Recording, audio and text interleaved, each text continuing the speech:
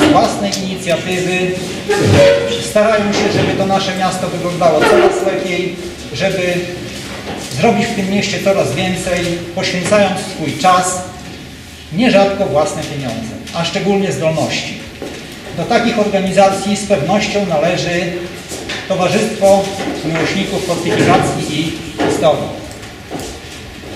Y, W przeciągu ostatnich 10, może 12 lat ta organizacja, ci Państwo, pracując jak najbardziej społecznie, z własnej inicjatywy, z potrzeby serca, y, przebudowali, zmienili nasz stary obiekt, obiekt starej prochowni Twierdzy Brzeskiej w dosyć ciekawy, bardzo ładny i bardzo potrzebny obiekt, można byłoby powiedzieć muzeum regionalne. Y, Zostało to zauważone przez nasze najwyższe władze państwowe i czwórka panów z, tego, z tej organizacji została wyróżniona odznaczeniem państwowym. Mam zaszczyt poinformować, że wiceprezes Rady Ministrów, minister kultury, dziedzictwa narodowego i sportu nadał medale opiekun miejsc pamięci narodowej osobom zasłużonym w służbie państwu i społeczeństwu. Uroczystego wręczenia medali w imieniu wicepremiera e, pana profesora Piotra Glińskiego dokona pan Robert Dmitruczuk, wicewojewoda lubelski. Oznaczeni zostali pan Władysław Marek.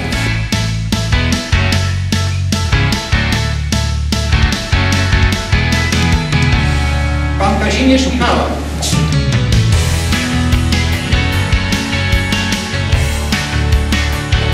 Pan Przemysław Wróblewski.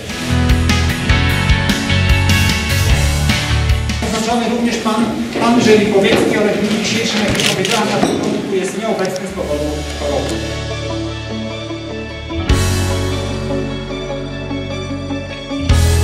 Rozpocznę od słów Benedykta XVI.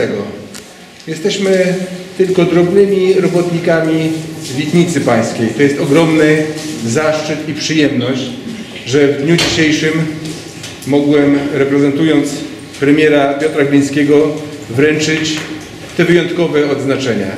Medale dla osób, które dbają o naszą pamięć narodową, osób, które kultywują to, co w narodzie najpiękniejsze. Mam ogromną satysfakcję również osobistą, proszę Państwa, bo któregoś czasu, nie tak dawno, dwa lata temu, przeglądając, a bardzo, można powiedzieć, bardzo lubiąc historię, interesując się historią, wybraliśmy się do odległego niby stąd miejsca, to jest do Muzeum Bitwy w Kocku. I kogo tam spotkaliśmy oprócz młodzieży?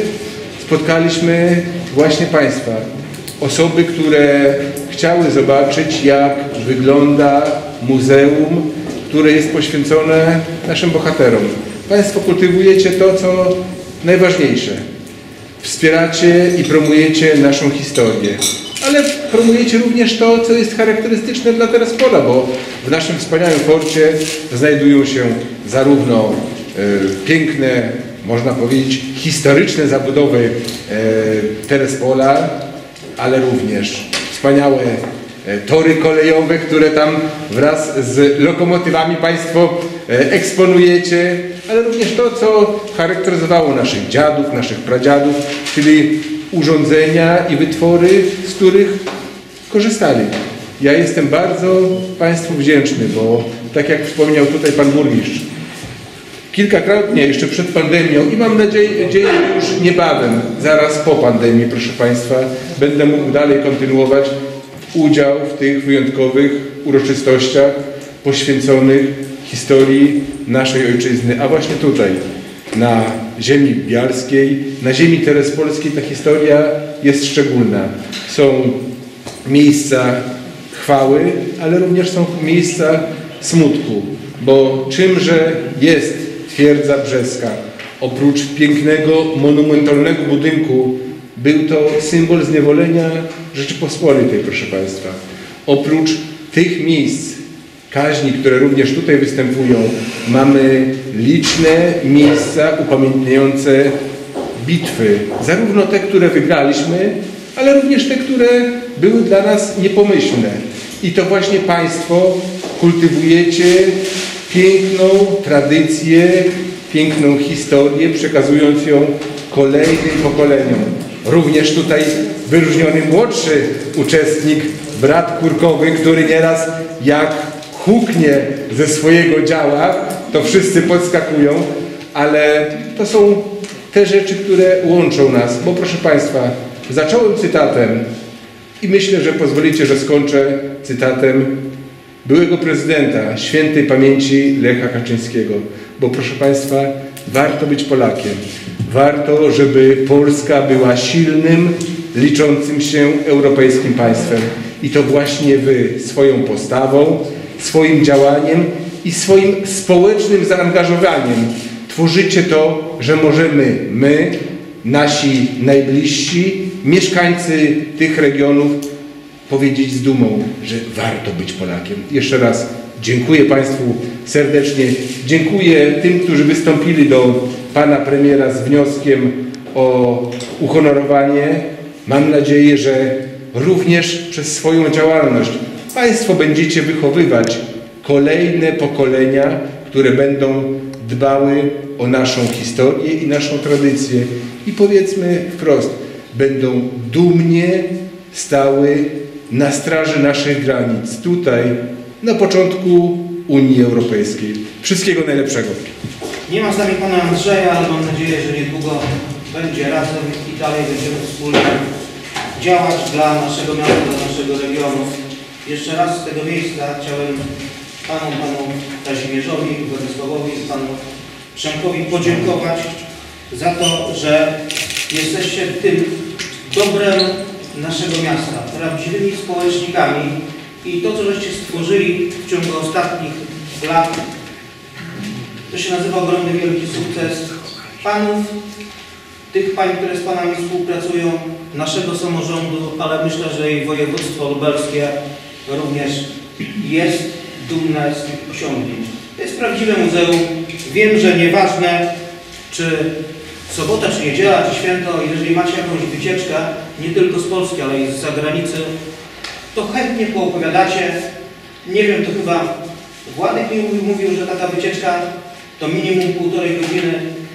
Macie przeogromną przede wszystkim wiedzę, wielki, ogromny sukces. Warto wspomnieć, że nasz historyk Kurek Przemek Wróblewski właściwie skończył pisanie monografii Terespola. To też niedługo do tego przystąpimy. Yy, Cóż, cóż jeszcze? Myślę, że Pan Bóg pozwoli i będziemy dalej współpracować wspólnie i tworzyć następne dobra dla naszego społeczeństwa.